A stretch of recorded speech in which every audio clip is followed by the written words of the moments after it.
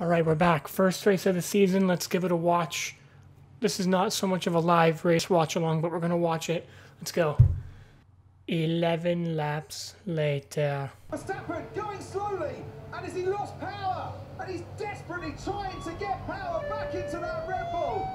40 laps later. What's happened here to the Williams? Russell was having a very nice race indeed, going along in 12th place. Uh, four laps later. It's already off. broken already. The tyre actually came off the wheel. Yeah, Six laps later. Okay, yeah, yeah. Alex, Alex, Alex, yep. Albon is all over the back of Hamilton. Yeah. Forces in the long way round. No, Okay. Albon again, no, with Lewis Hamilton. And he's lost Uh, four laps later. Time penalty. Lewis Hamilton is given a penalty for causing a collision with Alex Albon. another four laps later.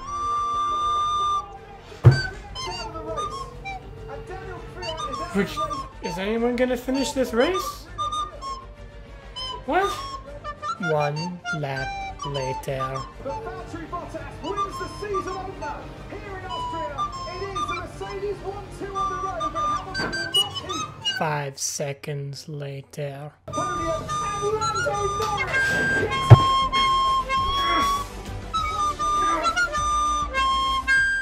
So yes, hello everyone, welcome back to the channel. I am back once again. I took a little bit of a break, definitely needed it, but we're back. We're better than ever, and I've got more videos being made for you guys to watch and enjoy. So for this week's video, I'm going to be doing a bit of a, I guess you could call it a time capsule video, just for everyone 20 30 40 years in the future from now if you're watching this video this is just kind of kind of explain to you what the hell's going on right now because you're probably looking at a lot of videos and pictures of this season in particular and asking what happened? So this video is for you people in the future to just know what happened in the 2020 season. Let's get into it so you're probably wondering what caused all of this kind of, I guess you could say, chaos to happen. You're probably learning about it in your history books right now, but I have to be very light with how I address it because I don't want my bosses at YouTube to get mad at me. But basically, uh, lots of people got kind of really sick. So that's why all these weird things are going on. So also, if you're in the future right now, can you just let me know? Is Hamilton still like really good in winning? Is he now like a cyborg or something, just winning every single race? Because like, I really want to know when that's gonna end. So just, I guess, comment down below and let me know. But yeah, just let me know, please. So first and foremost, the calendar. This might be the most unpredictable, weird, crazy season of Formula One that has happened and ever will happen because all these things happened and all the races had to get canceled. So Formula One and the FIA had to kind of scramble together and get a season, which is why you're seeing these double races. So for the first time in Formula One history in 2020, you're seeing actually two races at the same track weekends after each other, which has never happened before. Also, why are we calling them different races when they're at the same track? They're calling it the first ever Styrian Grand Prix. No, it's not. It's the same track, just anyways, basically what's happening is they're having to announce tracks on the calendar as they can as places in the world start to open up and governments allow them to open their tracks and have a race because it's a lot of things that go into a Formula 1 Grand Prix weekend and lots of people have to come in and as of this moment I'm recording this on uh, July 12th of 2020, we have 10 races, which is not sufficient for a world championship because you actually need, I think it's 15 races in three separate continents. So as of right now, we have two continents and 10 races. So we're looking to get a world championship in by the end of the season. But the fact that we're currently racing without knowing what the rest of the season holds, not knowing how many races we're going to get, is extremely exciting and unpredictable because every race just and every podium, every point means so much. And I don't think there's going to be a season in Formula One history again where we're going to have this level of unpredictability with the calendar. And it's it's kind of cool if you ask me. And really, I think we should start doing this from now on. Is just slowly announce the calendar. Do, do this for the rest of Formula One history. Just have some fun with it. But it's never going to happen. But it'd be super cool. You're also seeing a lot of people probably wearing these things when you're watching interviews and podiums, and anytime the drivers or team personnel are on TV, they're wearing a face mask because it's the easiest way basically to stop this whole virus thing from spreading around. But you're going to find it very hard to hear the drivers when they're talking into the microphone, as you can tell right now.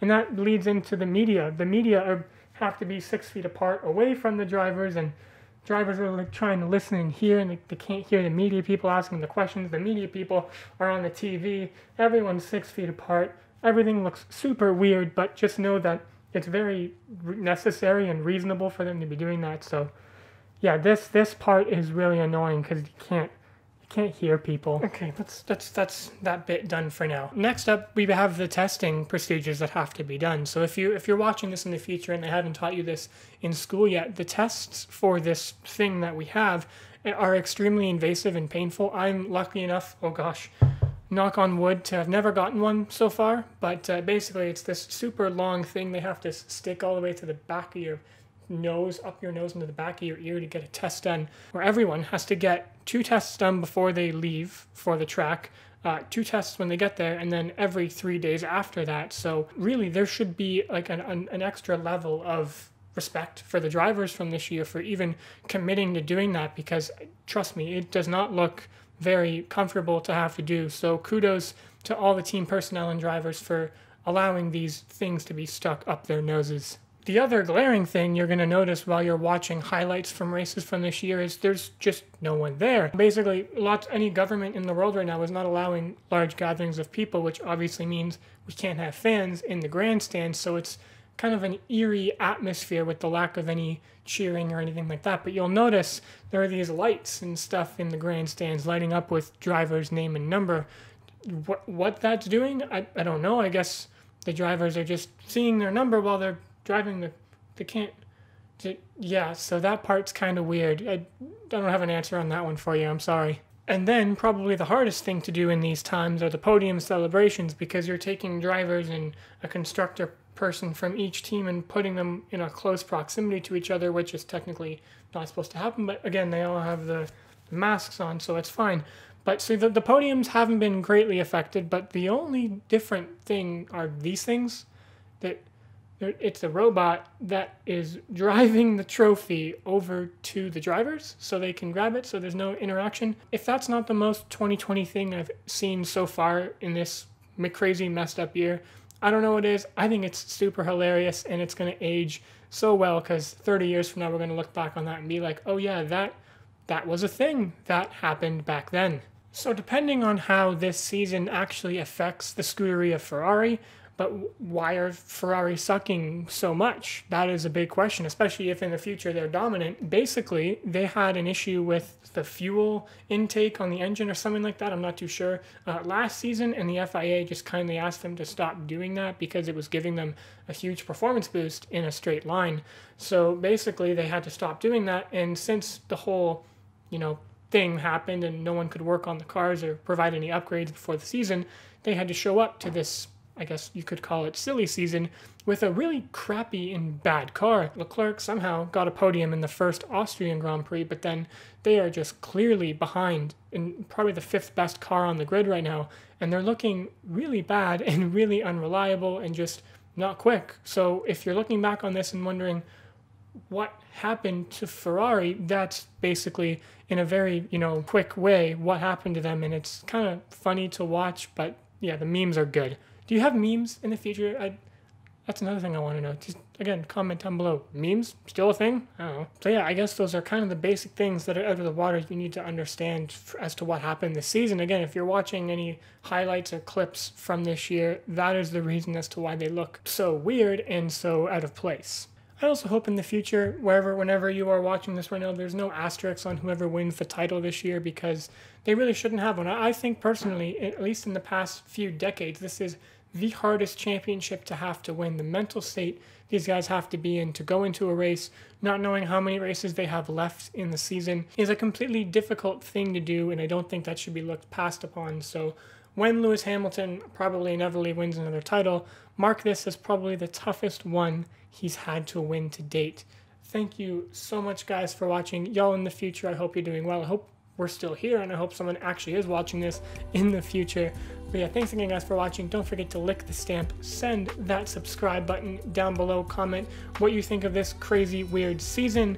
Don't miss the Apex, and I'll catch you in the next one. Peace.